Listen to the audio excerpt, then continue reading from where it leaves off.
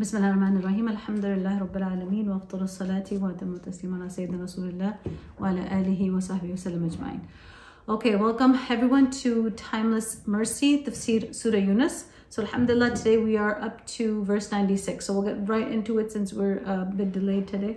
Let's get right into verse 96. Inna, indeed. الَّذِينَ those haqqat, proved true. عليهم upon them. Kalimatu, the word. Rabbika, your Lord. La, will not, yu'minun, will not believe. Verse 96. Surely those against whom the word of your Lord has been fulfilled will not believe. Okay, so um, here today, this is actually going to be the theme of um, today's session is uh, the relationship between Allah's will and people not believing, and at what point people are no longer able to um, believe or, or will not believe, rather. Okay, so that is going to be the theme of today's um, lesson, inshallah. So here in verse 96, we see, as the tafsir mentions, that Allah's decree that had become applicable to them was this. What is that decree? Allah does not trust the faith, the faith on those who do not seek after the truth, who obstinately and obdurately shut their hearts against it with prejudice, who are so lost in the love of this world that they do not care at all about the hereafter. Okay, so this kind of state where um, the word of Allah has been fulfilled and people are, these individuals are no longer going to believe. This is the state. This is the result, uh, the circumstance that every one of us wants to avoid at all costs because this is to deserve the stamp of divine wrath, after which iman is no longer possible. But again, remember, it is not because Allah decrees unjustly and the servant has no power. We have to emphasize this over and over again. It's such a common misunderstanding, common question, which I feel people many times are asking just to get out of the responsibility of, um, you know, believing or practicing their faith. Uh, just put it on Allah. Well, if Allah willed, you know, I would have prayed. Oh, if Allah willed, I would have been more practicing Muslim. If Allah willed, you know, I wouldn't have done this or that. Or um, so again, this is a result of one's choices. If you want guidance, Allah grants it to you, and He grants it to you with increase, as we see in Surah Muhammad, verse 17. وَالَّذِينَ اهْتَدَوْا زَادَهُمْ هُدًى وَآتَاهُمْ تَقْوَاهُم.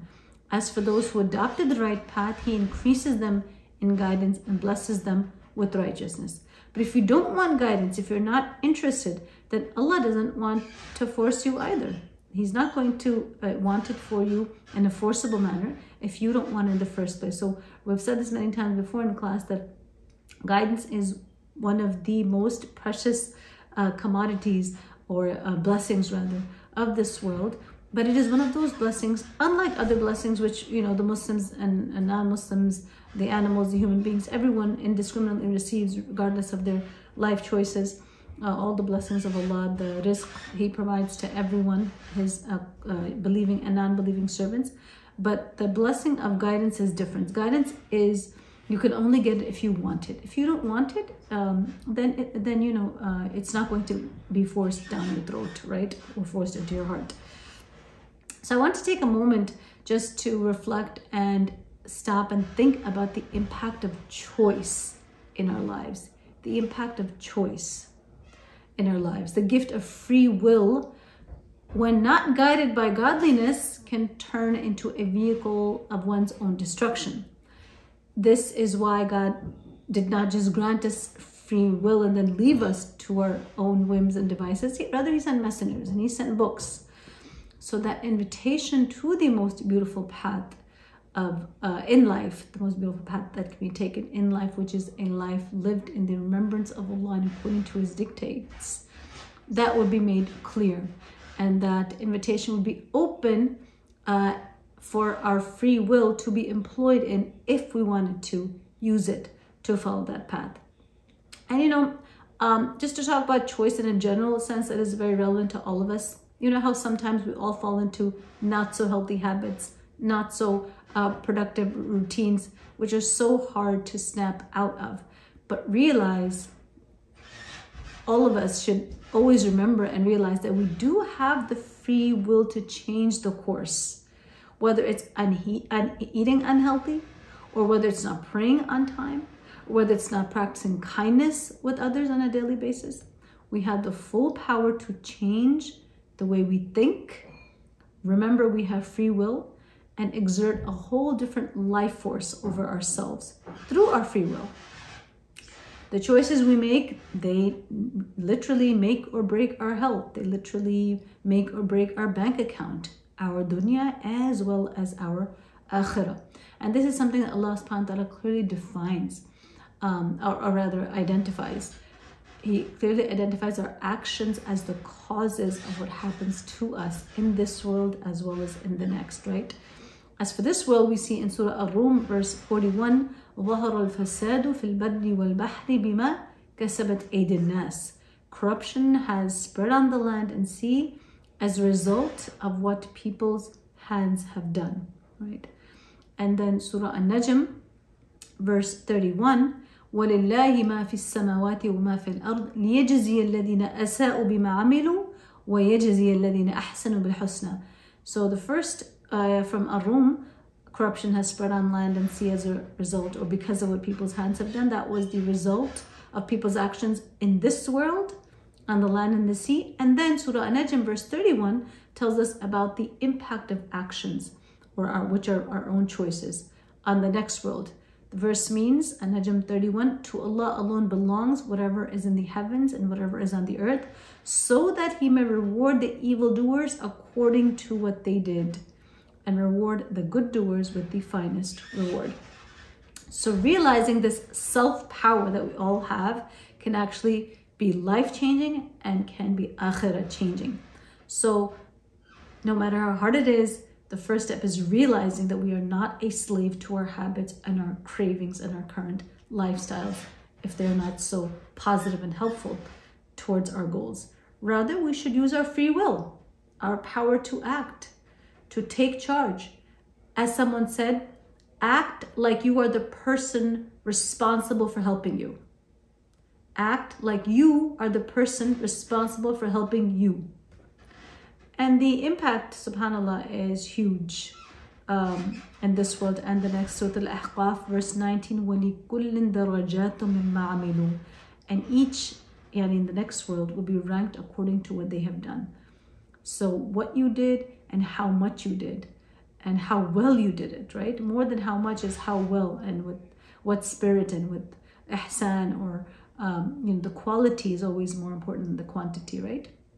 And according to that are the darajat, are the ranks in the hereafter that when we see them over there, we will have, you know, we're going to regret not having done more.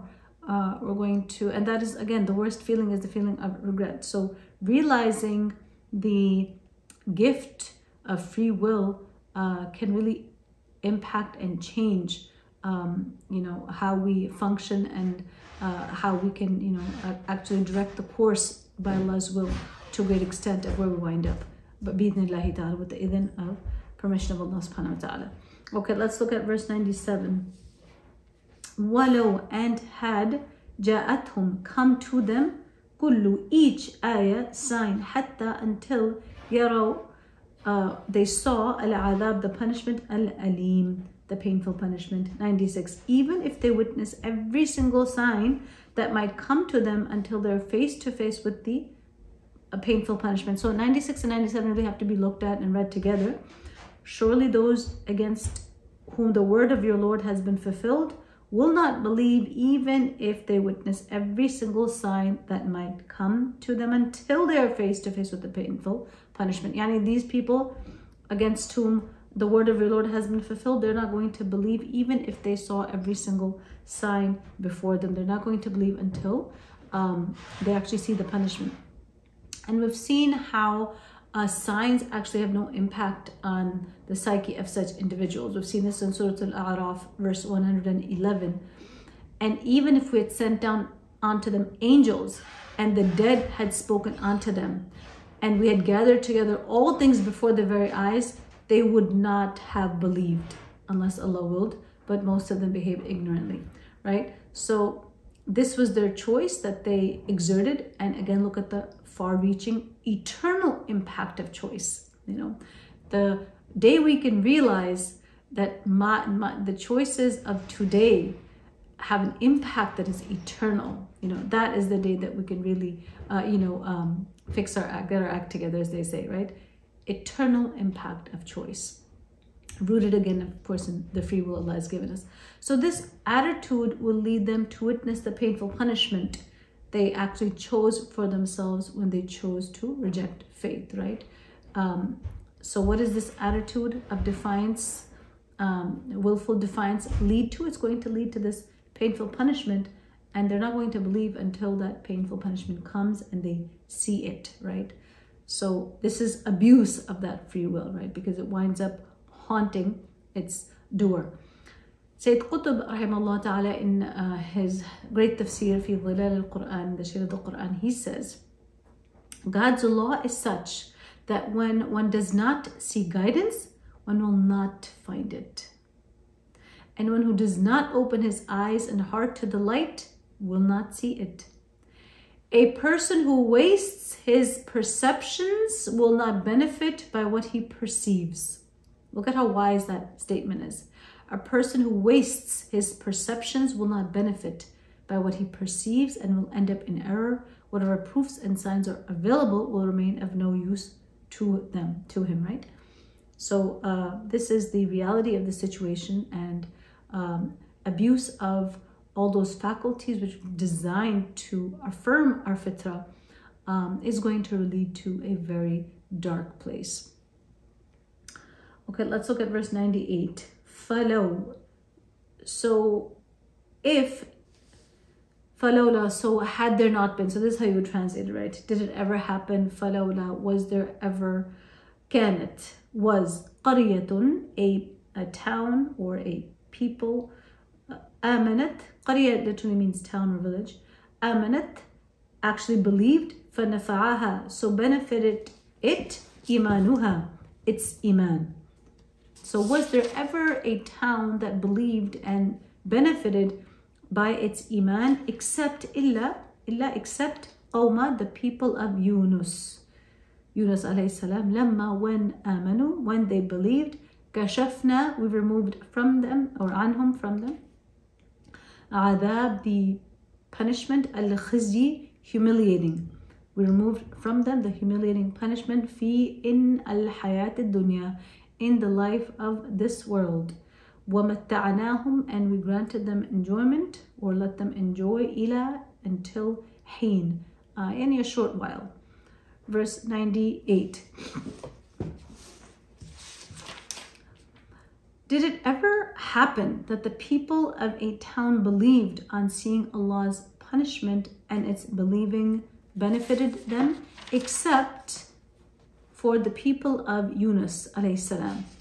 When they saw, except the people of Yunus, when they believed, we granted them reprieve, yani respite, or saved them from a humiliating punishment in this world, and let them enjoy themselves for a while. Okay, so there, Yunus salam people are the only uh, people who benefited from uh, their iman after they had seen the punishment. So 98, verse 98 really it's a bleak history of humanity summed up right here. Um, you know this is how they all reacted to the message of mercy and salvation. So ibn kathir poses uh, this question uh, that allah asks did any town from the previous nations believe in its entirety when they received the messengers when they received the message of all the messengers that we sent before you o muhammad sallallahu alaihi wasallam Rather, they were all denied, right? All the messengers that were sent before you, O Muhammad, were all denied were de by their people or the majority of their people, right? And we have this uh, evidence from the Quran, uh, so many different surahs, instances like chapter 36, verse 30. Alas for mankind, there never came a messenger to them, but they used to mock at him, right? Um, كذلك ما أتى الذين من قبلهم من رسول إلا قالوا ساحر أو مجنون chapter 51 verse 52 likewise no messenger came to those before them but they said a sorcerer or a madman so unfortunately we see that this has been the uh, overwhelming reaction of the vast majority of uh, humankind even though a messenger was sent to each and every one of them instead of welcoming the messenger, the revelation, like a long awaited rain after a drought. They remained oblivious to their spiritual poverty and shunned the guidance when it came to them. And, what, and for what? Preferring their comfort zones, right? Preferring the comfort that their comfort zones offered them, whether that was wealth or status or the ways of their forefathers or their culture, whatever comfort those comfort zones offered them because of which they preferred um, the their way over the truth. Allowed that to blind their eyes to the haqq that was before them. So again remember there's nothing wrong with the light. The light is not deficient the light is not absent. There's nothing wrong with the light. If a person chooses to close her eyes and remain in darkness right? So the only exception to this bleak blanket reality uh, were the people of Yunus salam, who were saved from the humiliating punishment that was on their way even after they saw it. Generally, if people saw the punishment, it was already too late because that's like Iman and Mushahid that we talked about yesterday, right? Iman and Mushahidin, um, the Iman that you have after you see your own death, that you know you cannot now escape from, or after one sees the punishment. So Yunus salam's people saw uh, the signs of the punishment coming towards them, um, but uh, they believed, repented, and actually were able to benefit from that iman. Yani the punishment was averted from them. So why they were the exception, we will look at in a few moments. But first, we just want to talk about who the people of Yunus salam were. And actually, they're identified as the Assyrian nation, the Assyrians, and they were uh, very populous, right? In Surah Al-Safat, verse 147, وَأَرْسَلْنَاهُ إِلَى مِيَةِ أَلْفٍ وَيَزِيدُونَ فَآمَنُوا فَمَتَّعْنَاهُمْ إِلَى حِينٍ We have the verses in Surah Al-Safat, 147, 148. And we sent him, referring to Yunus salam, to 100,000 people or even more, which of course in that time was a huge population. And they believed, so we gave them enjoyment for a while. So there's some very, very interesting facts about the Assyrians that uh, Yunus salam is sent to. Um, that he mentions that Yunus salam, uh, he was about over 800 years, about 800 years before uh, Isa salam. Okay, so his time frame is 860 to 784 BC. Okay, so he's about 800 years before Christ salam. And he was a prophet from Bani Israel.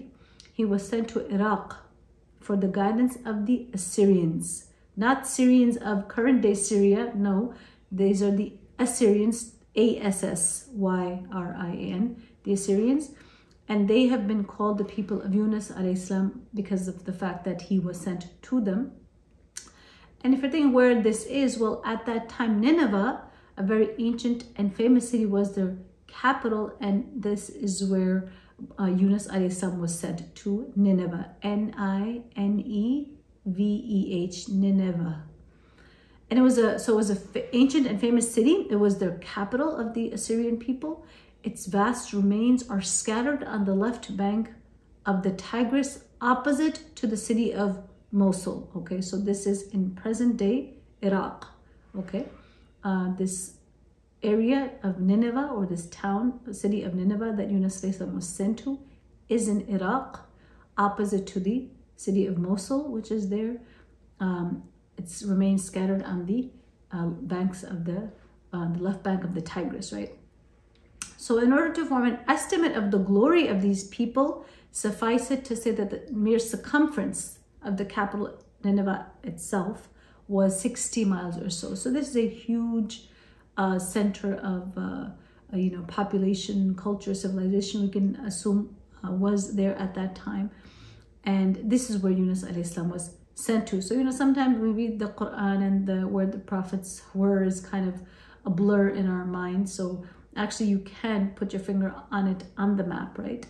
Um, this is where he was sent, alayhi. So those, these are the people who believed uh, on account of uh, that belief, that iman, the humiliating punishment was removed from them and they were allowed to enjoy their blessings in this world for some time. Now the question arises, how is it that the punishment was removed from them after they had seen it, right? After its signs had appeared before them. And we know the sunnah of Allah, uh, as this verse is also telling us, is that iman does not benefit after they see the adab. This is why the question is posed in the verse, you know, has there been any town that benefited um, after it had seen, right? uh, you know, the coming punishment, uh, was there a people whose iman benefited them after they saw the punishment, except for the people of Yunus? So the answer is the reason they're the exception uh, to this rule is, like the theme mentions, Yunus salam left the place of his mission without divine permission after warning the people of the torment of the adab that would come to them. Therefore, Allah forgave the Assyrians when they repented after seeing some signs of the coming punishment. This was in accordance with the prince, divine principles as stated in the Quran. For according to one of these, Allah does not inflict any torment on any people till he his uh, his message has been fully uh, until he has fully demonstrated the message to them. As the uh, Prophet Yunus salam did not continue his admonition in accordance with the appointed term and left the place of his mission before time of his own accord. Allah's justice did not inflict the punishment because the legal argument against his people had not been fulfilled. Subhanallah. Although no one knows what the exact term of uh, the appointment is, no one except Allah knows how long Yunus salam was exactly supposed to stay there to complete the hujjah, to complete um, the appointed time, after which the punishment will become mandatory on these people. But subhanAllah, look at the justice of Allah subhanahu wa ta'ala. Because he left without permission, became very angry and frustrated because the people were not listening to him, right? They were idol worshippers and he had admonished them uh, over and over again and they were simply not budging. So he left in a state of anger, but he did that before divine permission to do so had been granted. So, subhanAllah, um, that was reason enough for Allah to then suspend the punishment, even though its signs had appeared. And when they saw the signs, it is said in some of the accounts that um, the sky changed color. Um, and they realized that you know the punishment was on its way. Um, so at that point, they begin looking frantically for their prophet, uh, Yunus salam, and he was nowhere to be found. And then they all gathered together and even brought their livestock and their families and began to sincerely repent uh, to Allah subhanahu wa ta'ala to ward off their punishment. So actually the uh, detailed account, Ibn Kathir has, a, has, has the uh, account, um, you know, in, in, very nice detail. Um, and he starts it off with the narration um, that uh, where the Prophet is attributed to have said, The prophets were displayed before me. There was a prophet who passed with a group of people, and a prophet who passed with only one man, a prophet with two men, and a prophet with no one. So, what are we talking about? What does this uh, hadith have uh, to do with anything? Well, um, it's a hadith speaking about how few followers prophets had among from the people they were sent to, to the point that there was there would be a prophet who, who had only a small group of people, and then another prophet who only one person, another with only two people that believed in him, and then there would even be prophets, subhanAllah, who had not a single follower. Oh my goodness, subhanAllah. I mean, that is just mind-boggling, but this is the reality, right? And so the Rasul is mentioning um, this uh, because it goes on to say that he mentioned the multitude of followers that Musa had that then when he saw them yani, um, he saw the followers of Musa then that he saw his nation of people filling from the west to the east. The point is that Musa and Yunus salam, there was no nation in, in, its entirety that believed except the people of Yunus, the people of Nineveh, right? Um, so after Musa salam had a multitude of followers, after that, there were very few uh, people that believed other than that, except the Qawm of Yunus alayhi who entered into the deen um, of Yunus alayhi salam in throngs, in huge multitudes. So this was actually rare for this to happen. Um, no nation believes in its entirety. And then he continues, and they only believed because they feared that the torment from which their messenger warned them might strike them.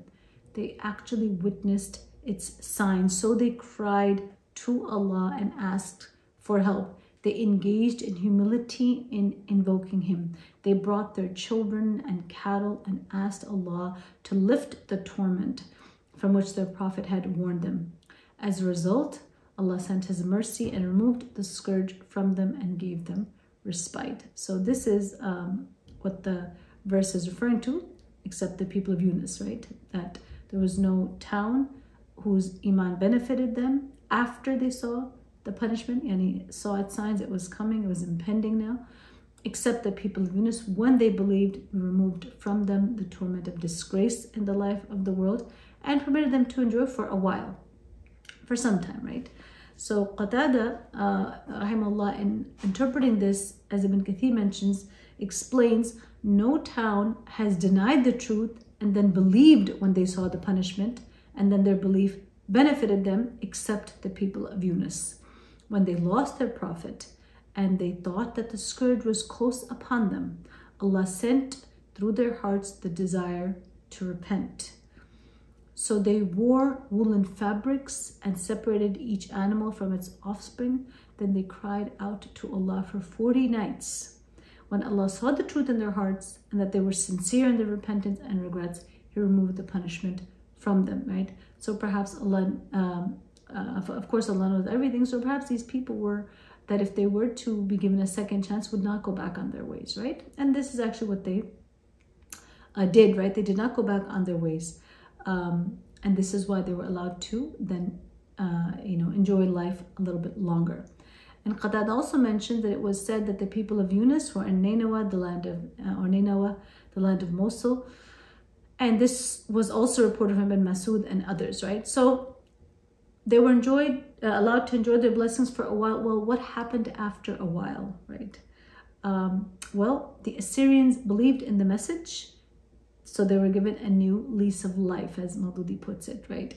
But after some time, they adopted the wrong ways of thought and deed. So again, we see humanity going down that dark path of destruction.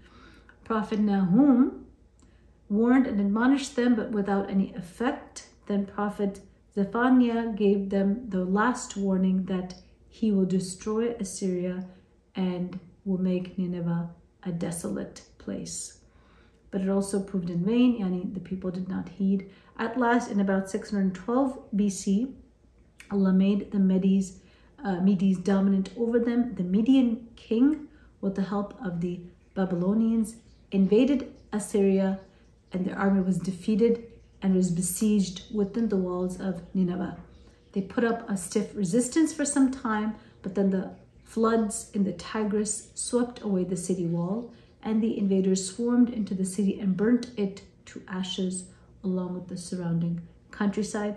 The Assyrian king set fire to his own palace and was himself burnt to death. Thus, the Assyrian Empire and its culture came to an end forever. The recent archaeological excavations reveal widespread effects of the fire. So, the people who believed in Yunus at that time had the punishment warded off from them and they were that generation that were allowed to enjoy their life a little bit longer yani until they died naturally but then after them uh, the generation that came after them unfortunately um, you know they adopted the wrong ways uh, once again and then uh, you have other prophets coming to them and still when they do not heed the warning then the punishment overtakes them so this is a brief uh, summary or history of uh, the people of Yunus salam, uh, the best generation among them who repented and believed, and then those who came afterwards. Okay, 99 brings us back to our theme of the day Uh, verse number 99, وَلَوْ شَاءَ And had willed رَبُّكَ your Lord, and had your Lord willed, لَآمَنَ surely would have believed man whomsoever fi in al-ard, the earth, kulluhum, each of them, jami'an, all of them. So there's emphasis in two different ways.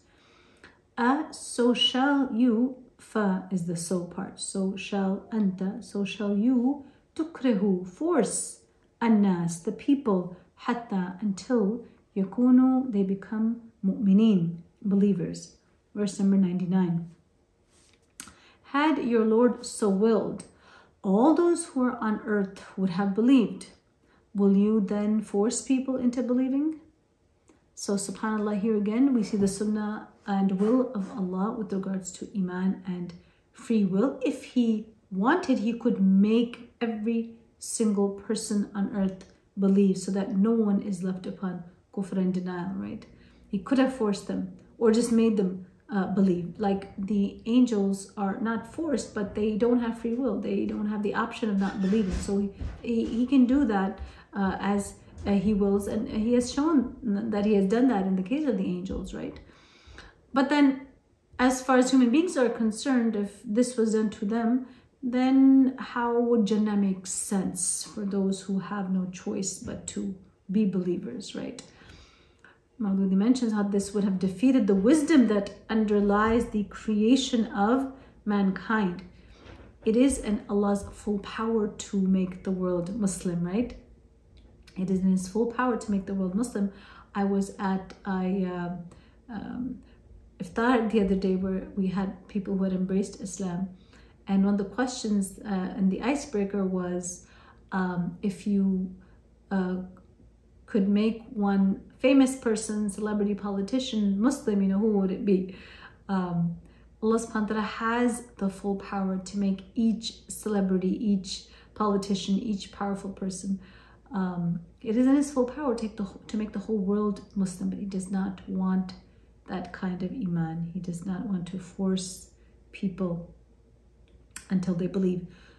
And this uh, verse 99 is uh, seemingly addressed to the Prophet sallallahu alaihi wasallam yani would you o prophet force people into uh, submitting? You know is it possible for the prophet to force people to believe? Was he forcing people to believe?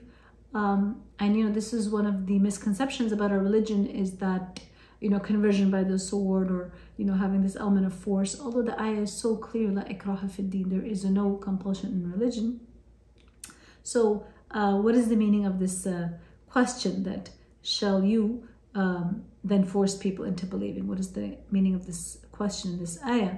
Well, he mentions that this does not at all mean that the Prophet desired to force people to become believers and that Allah was forbidding him to do this. In fact, the Quran here has adopted the same method of admonishing the people that it has adopted in many other places.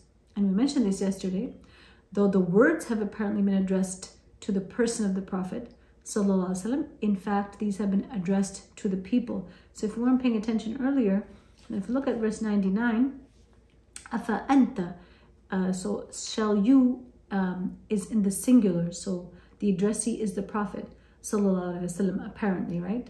Uh, the linguistic apparent addressee literally uh, appears to be the Prophet Sallallahu Alaihi Wasallam. But we have to understand that this is a style that the Quran uses where the words are apparently addressed to the Prophet Sallallahu Alaihi Wasallam, but in fact are meant for the people, right? Because the prophets are the most obedient to Allah's commands, all of them, the difficult of them and the easy of them. And when Allah has said La ikraha fiddin, that there is no compulsion in religion, then it is not fathomable that a prophet would then force people in matters of religion, right? So the addresses are in fact the people. The implication is, oh people, our messenger has made the distinction between guidance and deviation quite clear and plain by argument and pleading. Now, therefore, it is for you to believe or not to believe in the guidance. If you accept that someone should force you to adopt the right way, you should know that this duty has not been assigned to our Prophet. Had Allah willed this, He could have done it Himself. There would have been no need of sending any prophet to you, right? So, um, you uh, believers are certainly not charged with this duty of forcing people to believe. The Prophet himself did not have that job, and Allah Himself does not do this, right? So, this is something that is farthest from the spirit uh, of Islam. Both the letter uh, of the Quran as well as the spirit of the Quran, both are opposed to this misunderstanding. So, it's really time to clear it up in our minds. And this is part of Allah's perfection, right? Allah, in His perfection, uh, part of His perfection is that there's no contradiction in His actions, right? Once He created the human being with free will, then He will not force that up with forcing them to believe because free will and forcing are opposites, right?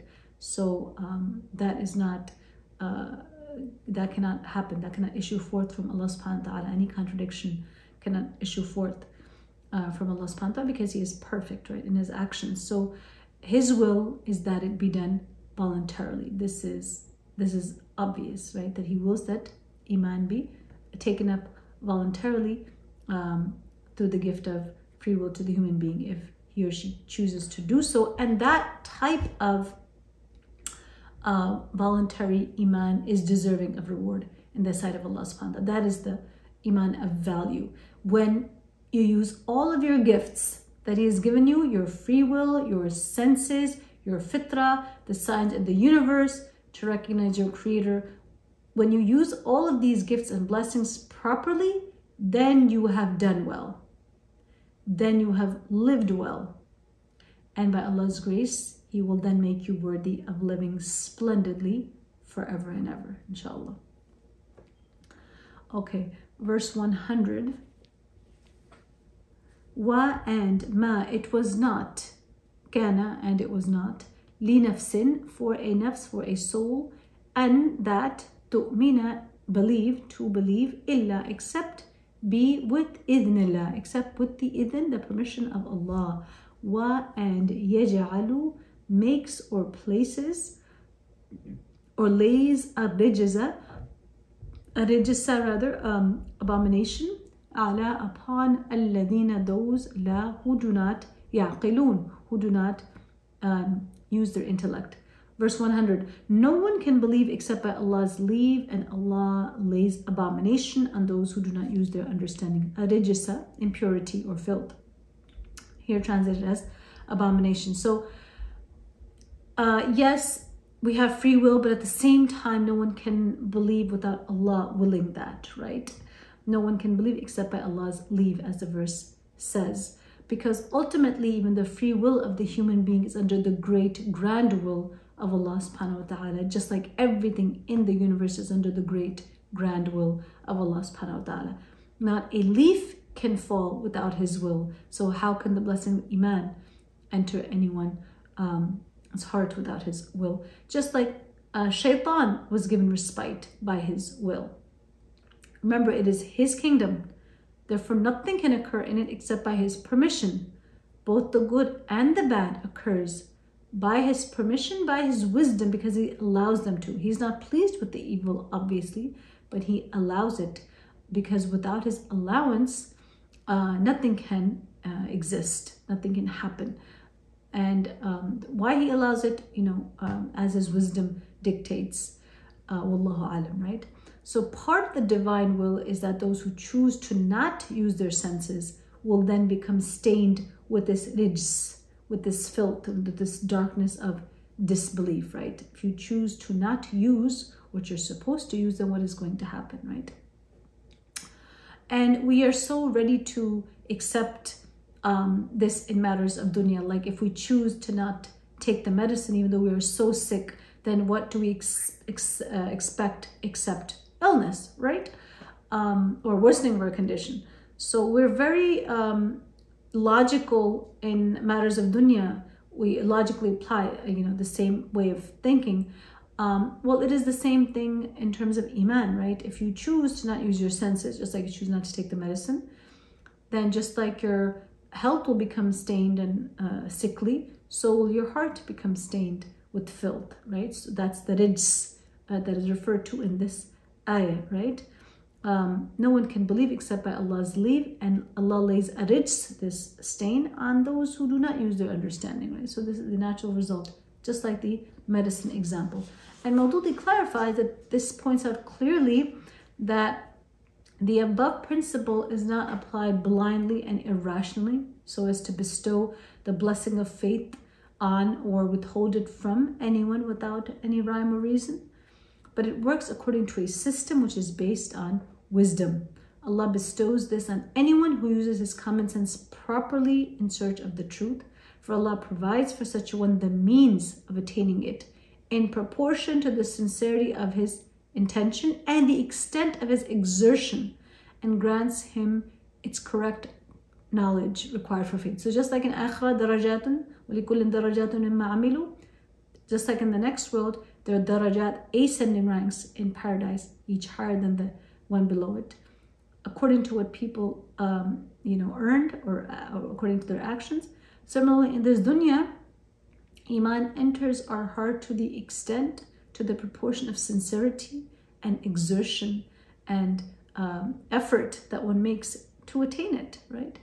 Um, a person who has faith um, and has never read a book in their life, has, uh, you know, never delved into the meanings of the Quran, but they still say La ilaha illallah, has faith, but their faith is not like the scholar who toils for 30, 40, 50 years uh, into the details and the depths of um, the sciences and um, the, the Quranic message, right? So in proportion to um, the sincerity and the exertion, the effort, uh, in proportion to that would be the experience of Iman even in this world. According to that will be the joy of Iman, the taste of Iman, the sweetness of Iman, right? And it only is fair. Um, so arids then, filth, then this impurity will obviously will be then the lot of those who uh, are not engaging whatsoever in uh, seeking the light and seeking the purity, right? So then what is left for them but that he throws the filth of ignorance and deviation and wrong thinking on uh, the one who is not a seeker of truth, does not use uh, his common sense, is not interested to search for the truth. Uh, remember the person who does not think uh, they need to be cured, right? Then how will the Quran be shifa for them if you don't feel you have the need for the medicine in the first place? Because Iman is that light which purifies, and kufr is that darkness that stains the person from the inside to the point that the rusted heart cannot see anything. And the great blessing of Iman is bestowed by Allah's will, by Allah's leave, right? And that he mentioned this is to emphasize the principle that the bestowal of all these blessings is in the power of Allah alone. Therefore, none can acquire or bestow on anyone any blessing without the permission of Allah.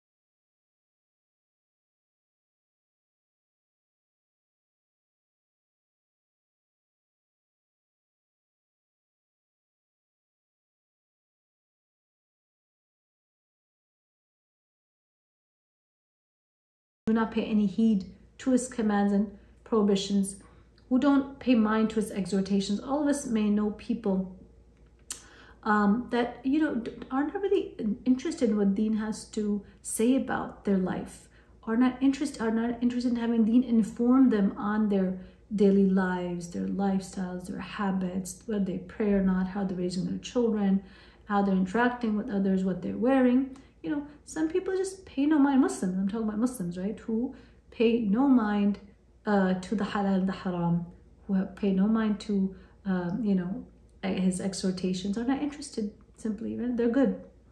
Uh, they find themselves ghani, they find themselves independent of um, Allah's guidance because they think they're good.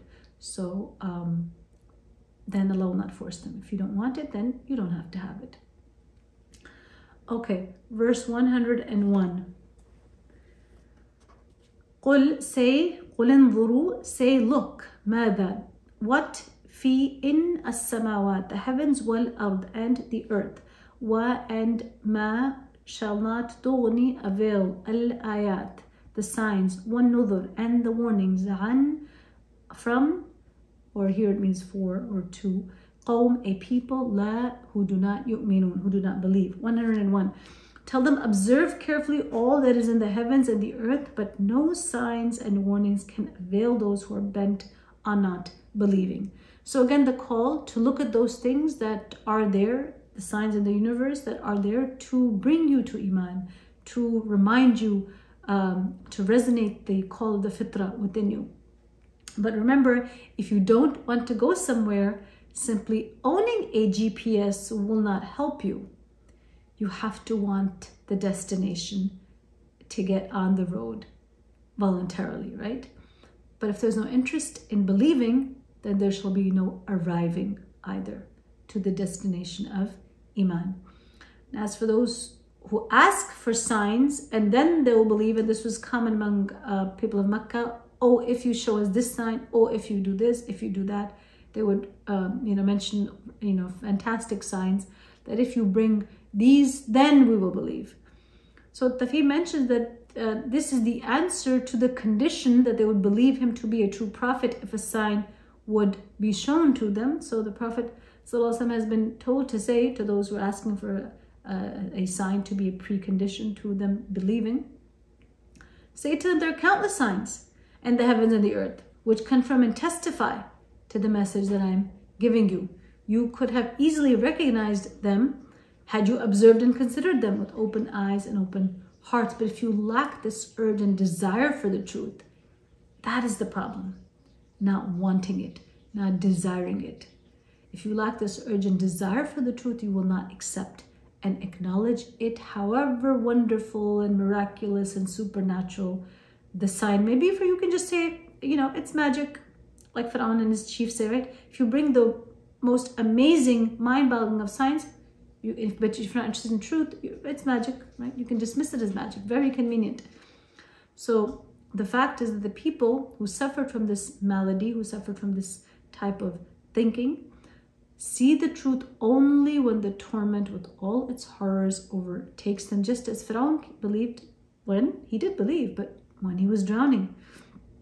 And at that time, repentance and iman have no place. Things that are so weighty with Allah subhanahu wa ta'ala. Iman, which is the heaviest thing, right? Of the heaviest things in terms of how it saves one from the fire of hell.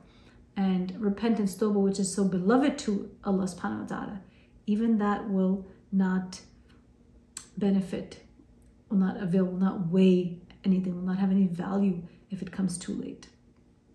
Okay, and the last verse for today, verse 102 فهل so are they ينتظرون waiting إلا except مثل for the like أيام for the like of the days الذين that خلوا have passed من from before them قل say فانتظروا so wait إني indeed I معكم along with you من from المنتظرين among those who wait 102 what are they waiting for except to witness the repetition of the days of calamity that their predecessors witnessed?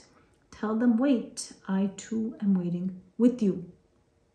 Okay, so here, um, are they waiting for the kind of days that descended on those before them. And if you look at the word in Arabic for days, it's ayam in the verse, which is plural of yom, which means day. So ayam means days. So the question is, are they just waiting for the days that uh, passed before? Um, and so days in Arabic in this usage doesn't just mean days, it means days of punishment. It means uh, ayam refers to the days of adab on the previous nation. So they're days marked by adab or punishment, divine punishment in history. Though, though that's what is referred to by using days here. Okay, so what person of intellect waits passively for their doom without actively subverting that uh, the uh, asbab, the reasons that are about to lead to their destruction? Like who does that? Like if a trustworthy warner comes and informs, you know, them about an impending army, of might that is on its way to attack them, you know, wouldn't they hurry and scurry to save themselves? then what about the adab that the prophets warn against? That is more ferocious than the fiercest of armies, that lasts forever, that is the fire prepared for the faithless. Are they just going to, you know, sit around waiting?